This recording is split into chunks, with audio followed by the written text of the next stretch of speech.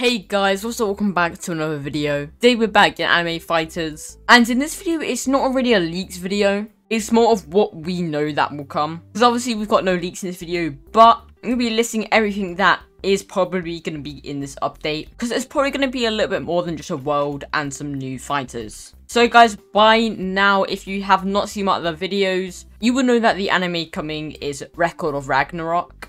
Everyone in the Discord server is also saying it, so I'm pretty sure it's pretty confirmed now. So obviously we're going to get that world, and we're obviously going to get a new star with a new secret, a new raid craftable. So yeah, guys, those are all the obvious things, but what do we know, or what would be a high chance of coming in this update? So, an incubator, I mean, I don't really know. I think Darab kind of wants to get away from how OP the incubator is. I feel like he kind of wants to nerf it in a way, but he doesn't know how to. So he doesn't really want more than two incubators in the game. So I would say maybe new incubator, but probably not. Now, this one is pretty high chance of it coming into the game. A new defense mode. Everyone's been asking for it. I mean, Darab even recognized people that have been asking for it. So, maybe this will be coming in the update. Also, guys, I do not know any of these for certain. So if they don't come, oh well, but hopefully some of these do come. Yeah, a new defense mode, that'd be really cool. Obviously, max open's getting a little bit slow now. Like, you do a whole defense mode with maybe six gold fires and you can only max open for like 30 minutes. I don't know, it's just kind of bad now.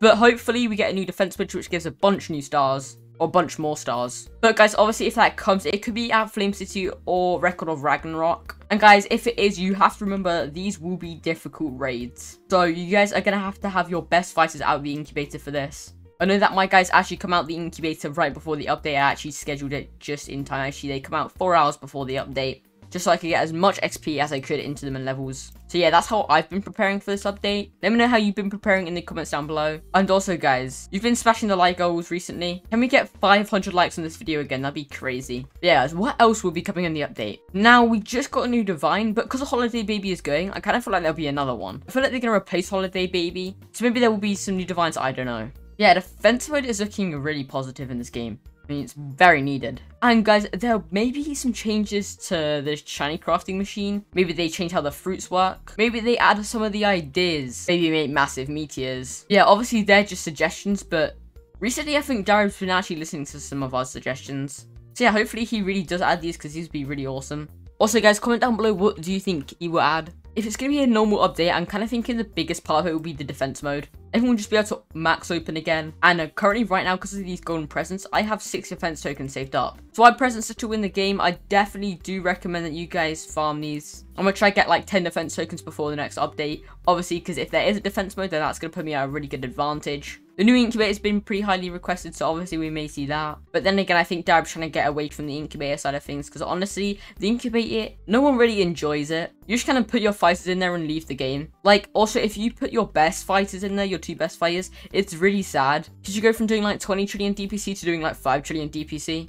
And then you can't do any time trials or make any yen. You can make a decent amount of yen still, but it's just nothing compared to what you would make with your best fighters. So yeah, I feel like having your two best fighters taken away from you, like a whole entire week, is just kind of sad. So hopefully they do do something with incubators. I know I did make my video on incubator upgrade, so hopefully he listened to something like that. Also, guys, we could be seeing some time trial changes, like in my other video. Darab actually tweeted out that he doesn't really like time trials recently.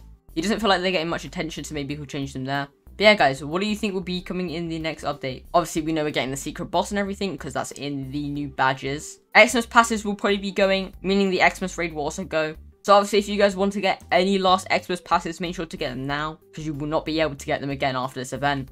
Unless they just shove them in the normal machine, which they said they wouldn't. But then again, they did that with Ghostly. Pretty sure Ghostly was meant to be limited, but it wasn't. But yeah, guys, that's it for the video. I hope you guys did enjoy. If you did, make sure to like and subscribe. Sorry it was short, I just wanted to get this video out. Obviously trying to keep up that daily grind. And yeah, I'll see you guys all in the next video. Peace out, guys.